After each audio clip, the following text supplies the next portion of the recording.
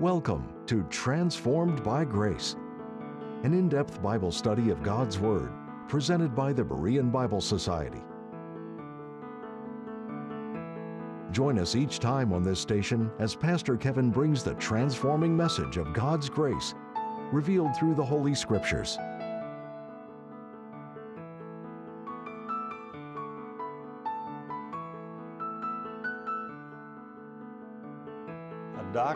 A lawyer, and an engineer are all sentenced to death via the guillotine. The executioner tells the men, If I pull the lever and the blade does not drop, you're free to go, and your sentence will be counted as paid in full. As the doctor stepped up to the guillotine, the executioner asked him, Would you like to be face down or face up? The doctor replied, I'll go face up. It won't matter. The executioner pulled the lever, but nothing happened. And he told the doctor, I guess you're free to go. And he was released. The lawyer stepped up to the guillotine. The executioner asked, Would you like to be face down or face up? He said, I'll go face down. I don't want to see when it happens. Once again, the executioner pulled the lever and nothing happened. The lawyer was told he's free to go and he was released. The engineer walked up to the guillotine.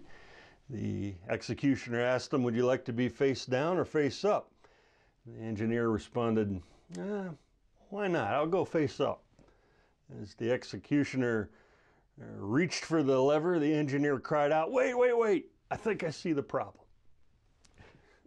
like this joke had three men with three different professions Paul challenged the church to carry out their service like three different types of people a soldier, an athlete, and a farmer. Each of these fields has a consequence to them, and they all point forward to a time when we will stand before the Lord at the judgment seat of Christ.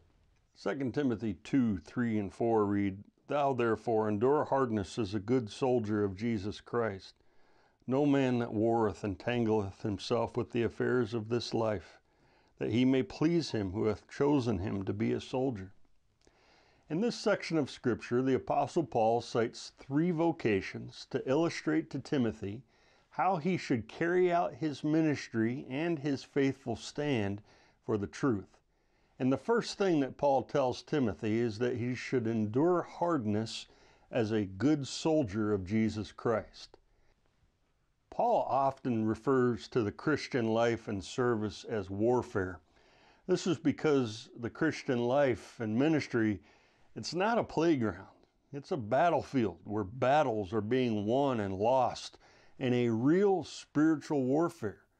Paul desired that in the good fight of the faith in that warfare that Timothy adopt the focus, perseverance, and courage of a soldier. And it isn't just any soldier that Paul has in mind here. Paul does not exhort Timothy to be a common, ordinary, everyday soldier, but to be a good soldier of Jesus Christ. All soldiers may not be good soldiers. When the bullets start flying and the battle gets difficult, there are those who courageously stand and stay in the fight, and there are those who let fear overwhelm them and they pull back and shrink away. Later in this letter, Paul gave an example of a bad soldier, Demas, who lost his focus on Christ and pleasing him, and he did not endure hardship in the ministry. Instead, he loved this present world and departed unto Thessalonica. Paul wanted Timothy to be a good soldier in the sense of being noble, useful, brave, and a model of discipline and Timothy was to be a good soldier of Jesus Christ. Timothy belonged to Christ, and he was to engage in the spiritual warfare for him. A good soldier named Joshua in the past once met Jesus Christ, the commander of the host of the Lord.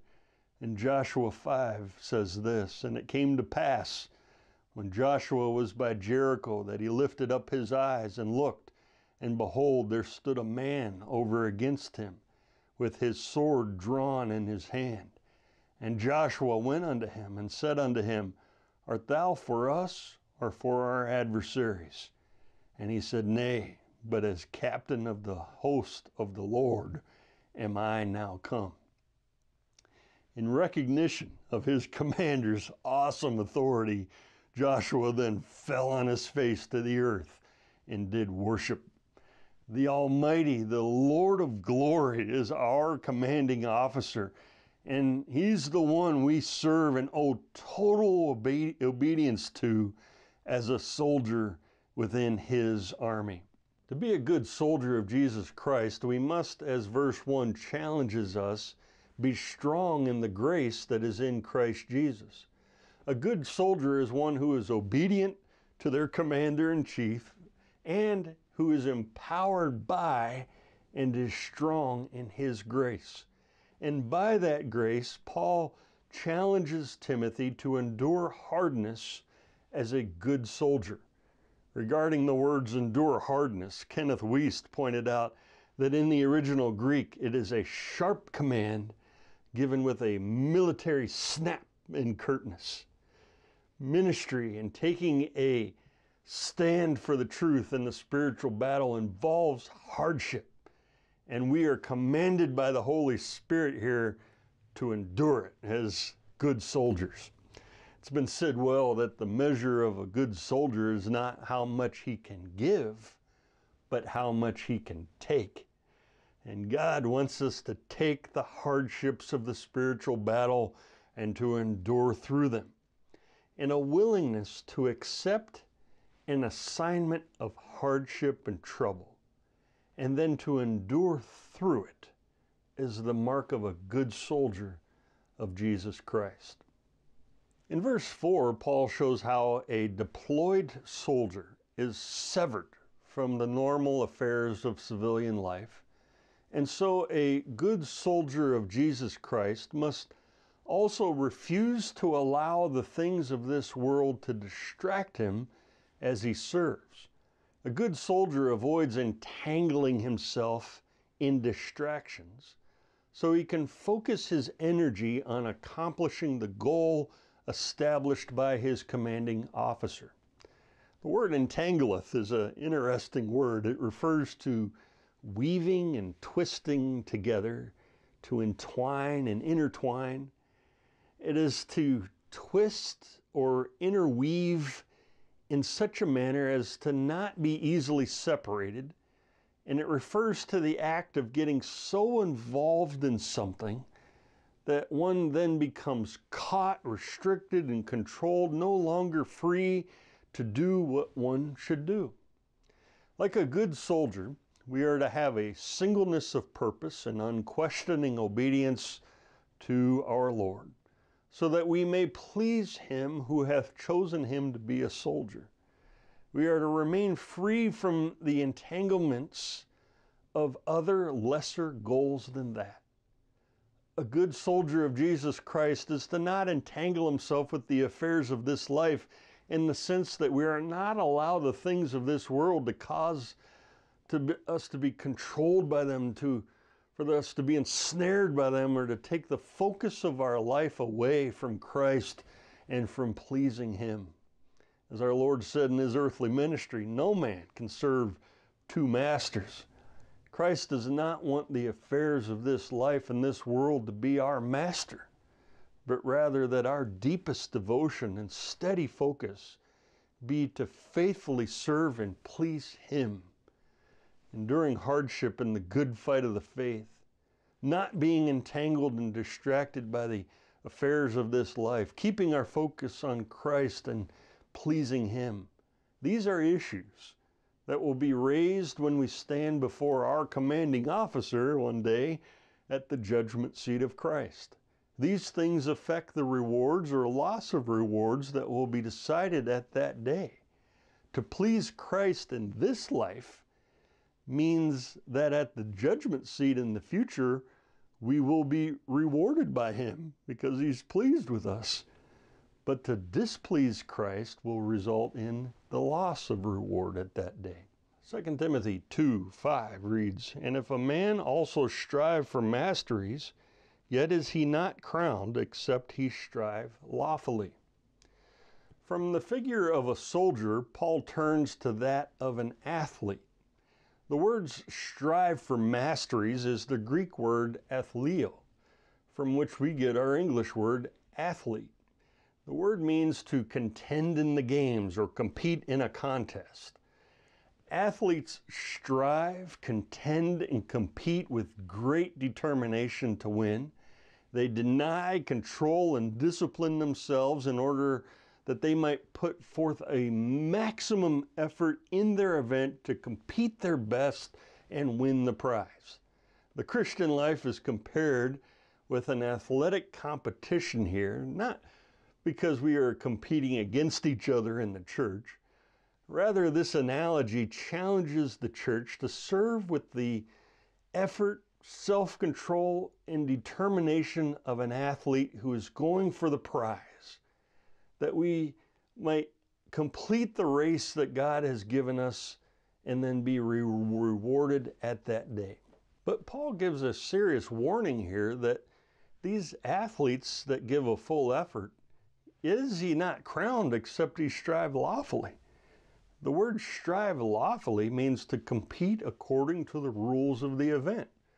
Those who compete to win their contest and gain the crown must conform to the rules. To be a good athlete, yes, it requires dedication, self control, and effort, but it also requires abiding by the rules. Break the rules, and they would not be crowned as a victor in the games no matter how hard they trained, no matter how much effort they put into their event. All of an athlete's hard work and discipline would be wasted if he or she fails to compete according to the rules.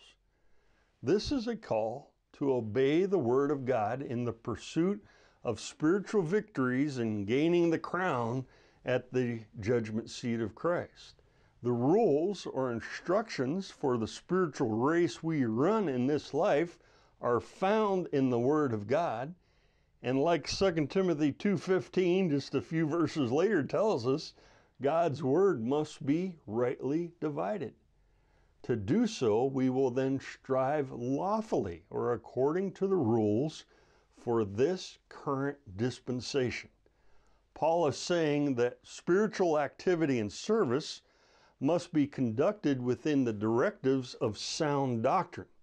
Like an athlete breaking the rules of their event, to defect from the true doctrine for the church today is to not strive lawfully and will result in not being crowned. For example, many are not striving lawfully today because they try to live by 1 John 1 9. If we confess our sins, he is faithful and just to forgive us our sins and to cleanse us from all unrighteousness. That passage puts a yoke of bondage on any who try to live by it. It will hinder one's Christian life under grace.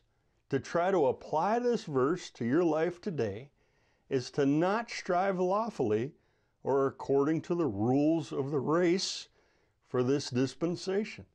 To live your life in a constant state of fear, always attempting to confess your sins, worrying about overlooking a sin, thinking you might not have uh, confessed them all, you might not be forgiven, you might be in danger of hell, is to not compete according to the rules of this age of grace.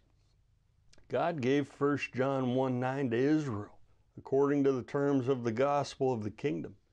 That verse is not written to the church, the body of Christ, and it does not apply to us today.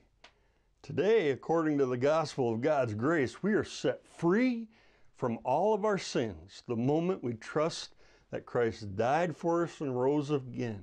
All of our sins, past, present, and future, they are paid for, they're gone, they're forgiven, they're washed away by Christ's shed blood the moment you believe. We run the race knowing all our sins have been forgiven in Christ, that we are reconciled to God, that we are redeemed, and we belong wholly to Him we then run with a full effort in the strength of God's grace out of gratitude that we are complete in Christ and we serve Him with all our heart to bring honor to our Savior. In our service to God, this analogy teaches us to serve like a dedicated, disciplined athlete who gives a strong and determined effort when they compete to win their prize. But also, like an athlete, we are to serve in accordance with God's rule for the current age of grace, the instructions laid out in His Word that are found in Paul's letters. And as we run the race of life in this way, we will be crowned at the judgment seat. 2 Timothy 2 6 reads, The husbandman that laboreth must be first partaker of the fruits. Diligent toil and faithful service is the issue when Paul speaks of the husbandman or farmer in verse 6. As we know, these are the hallmarks of the farmer. It's sun up to sundown labor for a farmer, fertilizing, plowing, planting, weeding, protecting, harvesting, storing, transporting, selling, and so on. Paul knew the value of hard work in the ministry, comparing himself with the apostles and all of the witnesses of Christ's resurrection. Paul could truthfully say, I labored more abundantly than they all. Warren Wiersbe stated the following Young ministers often visited the great British preacher G. Campbell Morgan to ask him the secret of his success. When someone inquired of him what he told these aspiring pastors, Morgan replied, I always say to them the same thing work, hard work, and again work. Timothy and his service also needed to be like the husbandman that laboreth. Paul is urging Timothy to not be lazy or idle, but to work faithfully in his ministry and to do so with a view toward the future in the harvest at the judgment seat. Soldier has the reward of pleasing his commanding officer. The athlete has the reward of a victor's crown. The farmer's investment of sweat and toil earns him the reward and right to be first partaker of the fruits and to enjoy its bounty. Paul is teaching here that labor must precede reward, that if a man would reap he must sow. Faithful toil and hard work for a farmer results in the reward of a bountiful harvest. Likewise, faithful toil and hard work in our service to God will result in fruits, the fruits of an eternal reward at the judgment seat. As 1 Corinthians 3 8 states, every man shall receive his own reward according to his own labor. Timothy's work of faith and labor of love for Christ could never go unnoticed by God. And Paul is encouraging Timothy to continue to persevere, to be faithful in his toils, living in light of the day when we will all stand before the Lord to give an account. As he did, like the hard-working farmer has the right and blessing to first partake of his crops, Timothy would rightfully reap the reward and blessings from the fruit of his labor. Paul encouraged the Corinthians to be always abounding in the work of the Lord, for as much as ye know that your labor is not in vain in the Lord. As we faithfully labor and toil for the Lord in our service and our stand for the truth, we know our labor is never in vain and we will reap rewards from Christ at that day. The truths from these verses are wrapped up in 2 Timothy 2:15. Study to show thyself approved unto God, like a good soldier who keeps his focus on his commanding officer to please him. A workman that needeth not to be ashamed, like a farmer who labors and works hard to produce a good crop, rightly dividing the word of truth, like an athlete that strives lawfully and complete, competes according to the rules for the games. 2 Timothy 2 7 to 10 read, Consider what I say, and the Lord give thee understanding in all things. Remember that Jesus Christ of the seed of David was raised from the dead according to my gospel wherein I suffered trouble as an evildoer, even unto bonds, but the word of God is not bound. Therefore I endure all things for the elect's sake, that they may also obtain the salvation which is in Christ Jesus with eternal glory. Paul says, for preaching good news, the gospel, the good news concerning Christ and his resurrection, I suffer as though I was a doer of evil and a criminal deserving of prison. Timothy is told this so that he might expect the same as he preached Paul's gospel. But like Paul, he was to be comforted with the truth that the Word of God is not bound. While the messenger may be in chains, Paul says, there are no chains that you can put on the message of God's Word. Its power and truth cannot be contained. And though he suffered this trouble as an evildoer, and though he was in this dark dungeon, Paul wrote that he was willing to endure all things for the elect's sake. Because if it made his message more powerful, that he was willing to suffer, go to prison, face death for it, and as a result, believers were helped and challenged and encouraged to make a strong stand. He was more than willing to endure it.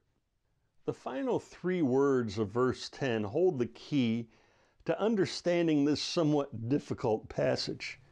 First, the elect's sake. The elect is a term of identification with Christ. In Isaiah 42 1, Christ is called the elect of God. When we trust Christ as our Savior, we are united to Him and we are in Christ, who is the elect of God. Thus, to be called the elect in Scripture is a term synonymous with a believer's identification with Christ and being in Christ. When Paul wrote that the elect or believers may also obtain the salvation which is in Christ Jesus with eternal glory, he's not just talking about believers being saved and going to heaven. He had a greater burden that they would go to heaven with these last three words with eternal glory. Paul is saying that if his suffering led believers to have greater boldness, a stronger stand, and labor more for Christ, and thus result in more rewards and eternal glory for these believers, he says, I'm more than willing to endure all things for that to be so. 2 Timothy 2 11 to 13 read, It is a faithful saying, for if we be dead with him, we shall also live with him. If we suffer, we shall also reign with him. If we deny him, he also will deny us. If we believe not, yet he abideth faithful. He cannot deny himself. Speaking of eternal glory, Paul then wrote concerning the glory of the believer's eternal reigning position with Christ in heaven. When Paul wrote that this is a faithful saying, it means that he's stating a truth that is significant, trustworthy, and sure. And first, he says, For if we be dead with him, we shall also live with him. This is true of every believer. We died with Christ when we trusted Him as our personal Savior. At that moment of faith in Christ, immediately the Holy Spirit spiritually joined and identified us with Christ's death, burial, and resurrection. This is a spiritual reality that we know is true by faith in God's Word.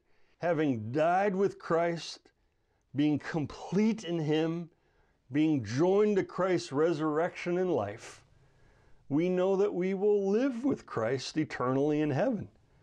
Thus, in this comforting, faithful saying, we find that a believer's salvation is assured.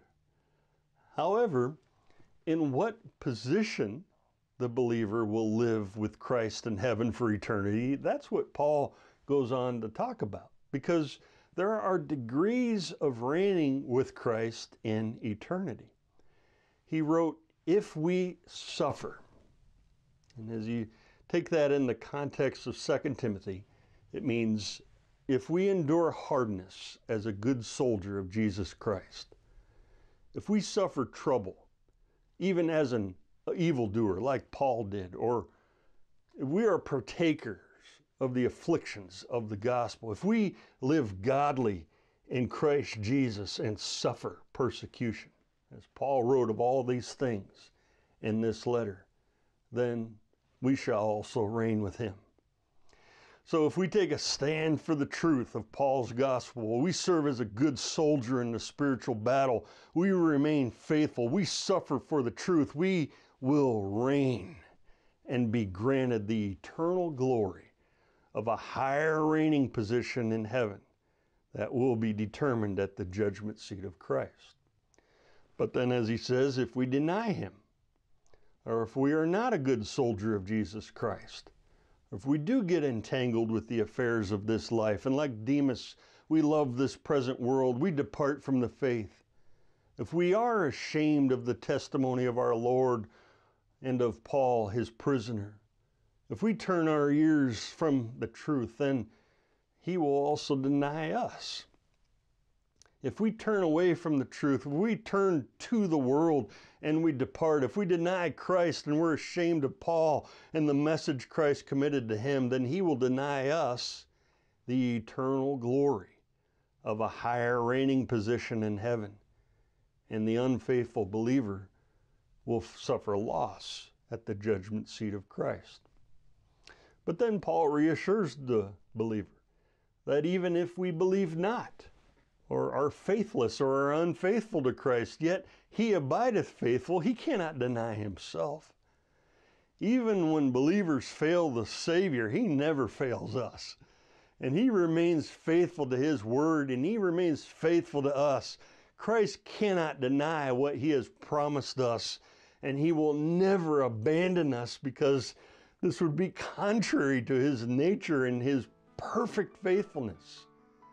Thus, Christ is faithful to his word, as you go right back to the beginning of this saying, that if we be dead with him, we shall also live with him. What this faithful saying is telling us is that every believer in Christ will live with Christ in heaven. But it's up to each individual believer in their stand for Christ, whether they will live with him in the eternal glory of a higher reigning position.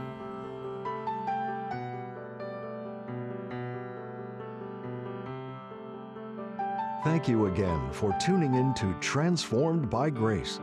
We appreciate your prayer support and the financial gifts. The purpose and mission of the Berean Bible Society is to help you understand the whole counsel of the Word of God. For more information, visit our website at www.bereanbiblesociety.org or give us a call at 262 255 4750. Or if you prefer, write us at the Berean Bible Society, P.O. Box 756, Germantown, Wisconsin 53022. Now, until next time, may you be transformed by God's grace.